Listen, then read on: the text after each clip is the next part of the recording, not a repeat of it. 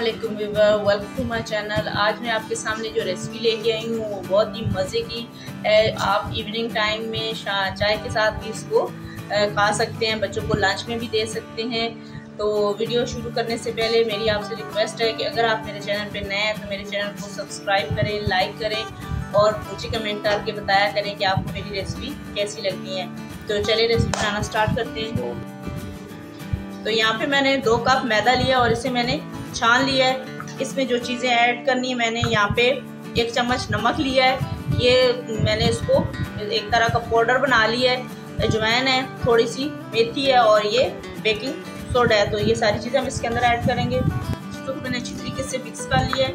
यहाँ पे मैंने दो चम्मच ऑयल लिया है। आप घी भी ऐड कर सकते हैं। इसको हमने अच्छी तरीके से बीच में मिक्स करना है। यहाँ पे मैं एक चम्मच ऑयल की और ऐड करूँगी। और इसको हाथ की मदद से अच्छी तरीके से मिक्स करेंगे। जैसे हम समोसा की डो को तैयार करते हैं, इसी तरीके से हमने इसको तैयार करना है। और साथ साथ अभी मैं इसमें थोड़ा थोड़ा पानी ऐड करूँगी। डो हमारी तैयार हो चुकी है। अभी मैं इसको थोड़ी देर इस तरह कपड़े से ढक के रख देती हूँ और अभी हम इसकी स्टफिंग तैयार करते हैं। यहाँ पे मैंने व्यूवर एक चम्मच ज़ीरा लिया और ये साबुत धनिया, इनको हम थोड़ा सा रोस्ट कर लेंगे। दो चम्मच मैं इसमें ऑयल की डालूँगी। और इसे अच्छी तरीके से हम मिक्स करेंगे। यहाँ पे मैंने एक चम्मच रेड मिर्च पाउडर लिया है। हाफ़ चम्मच हल्दी पाउडर है, हाफ़ चम्मच जो है वो चाट मसाला है, नमक है। इसके साथ अच्छी तरीके से मिक्स करेंगे। आलू का जो मिक्सचर है इसको मैश कर लिया मैंने। डाल के अच्छी तरीके से मिक्स करेंगे।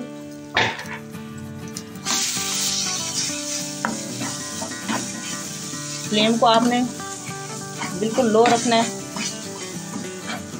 और साथ ही ये सब्ज़ धनिया थोड़ा सा मैं ऐड कर देती हूँ। व्यूअर आप कोई भी इसका पार्ट रेसिपी का स्किप ना करें, ताकि आपकी जो रेसिपी है वो परफेक्ट बने। तो हमारी बिल्कुल रेडी हो गई है। अभी हम इसके आठ छोटे छोटे पेड़े बना लेंगे। ये मेरे आठ पेड़े तैयार है। अभी हम इनको साइड पे करते हैं और हम एक एक करके इन सबको बेल लेते हैं। मैदा जो है वो डस्ट करूँगी और इसको बेलेंगे हम। रोटी की तरह हमने इसको बेल लेना है।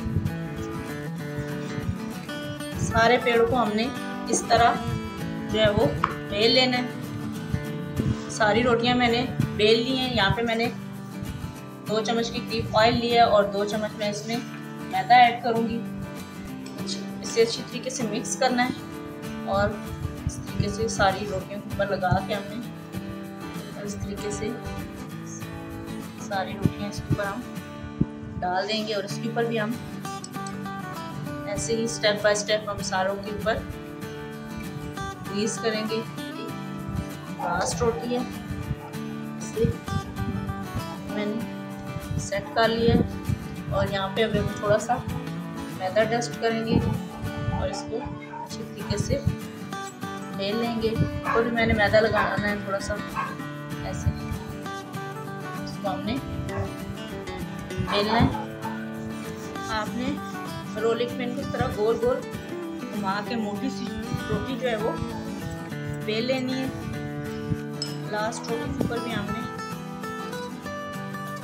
पेस्ट लगा देना ये हम इसको बिल्कुल आपने फासला नहीं छोड़ना और इस तरीके से इसको रोल करते जाना है।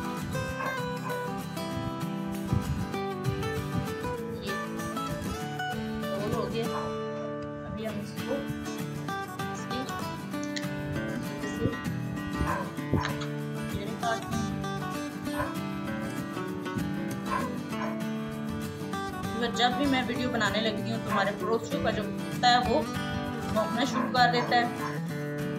कितनी ज़्यादा लेयर्स आ गई हैं। तो अभी हम इनको एक एक करके यहाँ पे थोड़ा सा मैदा डस्ट करेंगे और इनको ले लेंगे ऐसे करके सारे पेड़ों को मैंने बेल लिया है। यहाँ पे हम साइडों पे थोड़ा थोड़ा सा पानी लगाएँगे। और जिस तरीके से मैंने ये फिलिंग को रखा है रेक्टेंगल की शेप में इसको हम इस तरीके से यहाँ से ऐसे जोड़ देंगे।